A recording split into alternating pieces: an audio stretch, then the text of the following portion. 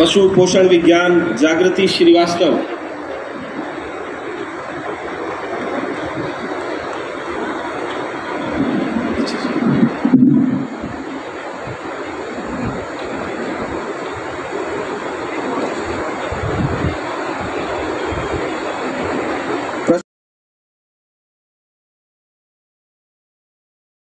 Hello friends welcome to my channel कैसे हैं आप सब लोग? आशा करते हैं बहुत अच्छे होंगे।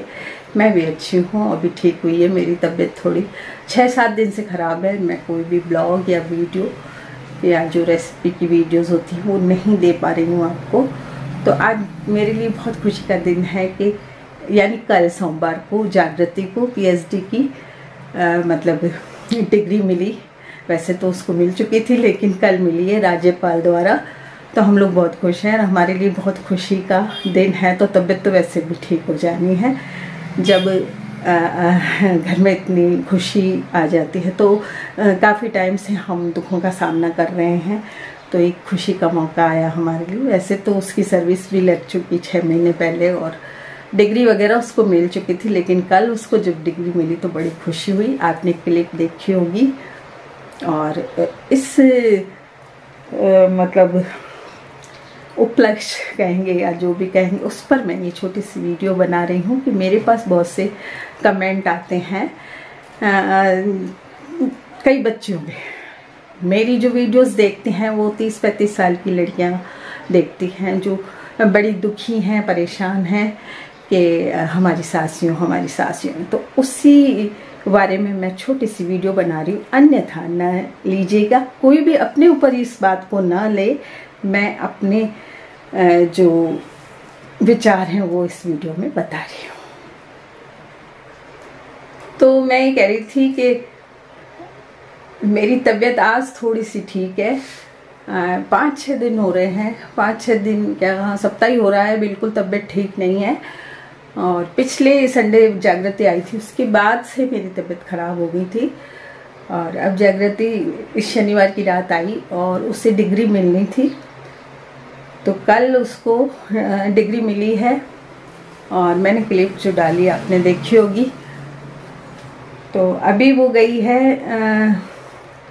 क्लिनिक गई है मेरे बेटे के साथ। अभी एक ऑपरेशन है कैट का ऑपरेशन है, इसलिए वो गई हुई है और सारा काम करके गई खाना वाना बना के गई है और तीन चार दिन से मुझे संभाल रही है।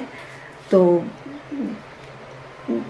मतलब मैं कहूँगी कि जितना हाथ उसकी डिग्री मिलने में या उसकी पढ़ाई में हम लोगों का हाथ है मतलब उसके पति का मे, मेरे बेटे का मेरा और उसकी मेहनत का। उसके साथ ही साथ आ, आ, मतलब हम दोनों की समझदारी है। सास बहू के संबंध में मैं ये कहूँगी कि दोनों ही की समझदारी बहुत ज़रूरी होती है। बहुत पेशेंस रखना पड़ता है, बहुत त्याग करने पड़ते हैं, चाहे बहू को, चाहे सास को। तो मैं किचन में इसलिए हूँ कि वहाँ पे मिस हो रही है पंखा चल रहा है। तो मैं ये कहूँगी कि छोटी सी वीडियो बना रही हूँ और मैं ये कहूँगी, बहुत से मेरे पास कमेंट आते हैं कि हमारी सास यूँ हमारी सास यूँ तो सास भी अगर मेरी वीडियो देखती हैं तो शुरू से देखें मेरी वीडियो। जब जागृति आई थी, तब से मेरी वीडियो देखें। और कितना मैंने साथ उसका दिया और कितना उसने दिया। मेरी बीमारी में या कोई भी तरह की ज़रूरत में उसने मेरा साथ दिया तो मैंने भी उसका पूरा साथ दिया। तो दोनों की समझदारी बहुत ज़रूरी होती है। उसकी पढ़ाई की मेरा बेटा चाहता था कि वो पीएचडी भी कर ले नेट भी करे, सब करे। शादी होने के बाद उसने बहुत कुछ किया। तो उसमें मैंने कभी टांग नहीं अड़ाई। मैंने कभी ये नहीं कहा कि नहीं करेगी या घर संभालेगी या कुछ मैंने कभी नहीं कहा। मैंने कहा हाँ करेगी। और मैंने पूरा साथ दिया। सुबह मतलब बिल्कुल अंधेरे में उसको निकलना पड़ता था। तो मैंने कभी ये नहीं कहा कि अंधेरे मुँह, अंधेरे बहू घर से चली जाती है या घर के काम हैं या मेरी तबीयत है या कुछ है। मैंने कुछ भी नहीं कहा। जैसे मेरे से घर संभला, मैंने संभाला। दो बजे वो आया करती थी तो सुबह से ही सारे घर में काम होते हैं।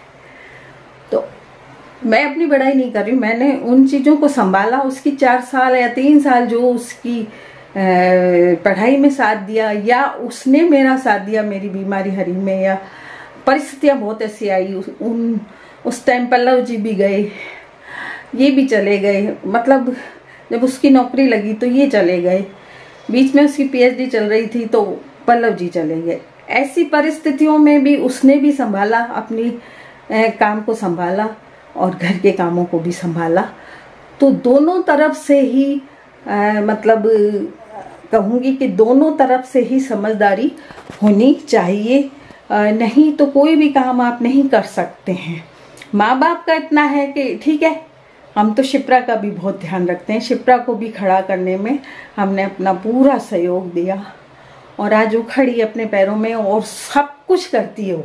कोई हमारी उसको अब ज़रूरत नहीं है। कमाती है वो, अपना घर संभालती है, अपने बीमारी संभालती है, बच्चे की बीमारी संभालती है। सब्ज़ी, सामान, सब लाना, करना, सब उसने अपने ऊपर ले रखे काम, कोई भी काम। वो हमारे ऊपर नहीं छोड़ती है। तो इसके पीछे नींव क्या है? नींव बड़े लोग होते हैं। तब आपके बच्चे तब खड़े होंगे, बेटा बहू है या आपकी बेटी है या कोई भी है। जब खड़े होंगे, जब आप त्याग करेंगे, आप उनका साथ देंगे। तो बड़े लोग जब साथ देंगे तो बच्चे अपने आप खड़े हो जाएँगे। उनकी नींव है जो मज़बूत हो जाएगी, जैसे एक मकान की नींव मज़बूत होती है, तब एक मकान को कितना भी ऊँचा ले जाओ आप, उसकी नींव मज़बूत होनी चाहिए। तब कोई काम होता है। तो नींव मज़बूत करने में हमारा पूरा हाथ रहा। और आज की वीडियो में यही कहूँगी कि सास बहू के संबंध में या आपके और भी बच्चे, कई लोग बेटियों को भी नहीं संभालते हैं। तो अपने बच्चों, अपने बेटे बहू को संभालने में आप पूरा कोशिश करेंगे तो आपके बच्चे खड़े हो पाएँगे। उनको आपके सहारे की बहुत ज़रूरत है।